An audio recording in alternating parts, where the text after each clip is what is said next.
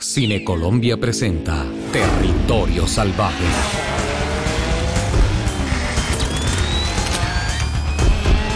En esta selva solo sobreviven los más fuertes. El tigrillo Yacamán, con solo 16 años, lucha con tenacidad en el territorio más exigente, el automovilismo europeo. El tigrillo lucha para alcanzar su sueño de ser campeón. Gustavo Yacamán, el futuro del automovilismo colombiano.